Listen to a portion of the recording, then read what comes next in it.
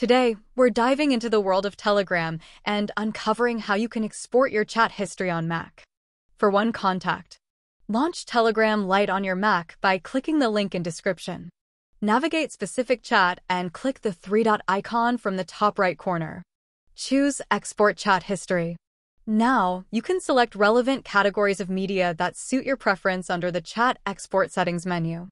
Use the size limit slider to increase the download limit size if you're exporting large media files. Once you're good to go, click Export. The time required to download the file may vary based on the size, so wait patiently. Click Show My Data. Double-click Messages. You are all set. For all contacts, open Telegram Lite on your Mac.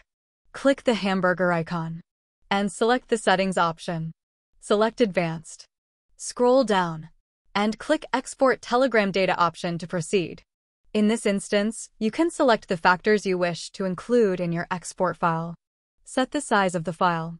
Once your preferences are set, click Export. Click Show My Data. Open the file. Click on Chats. Open the chat you want to open. You are all set.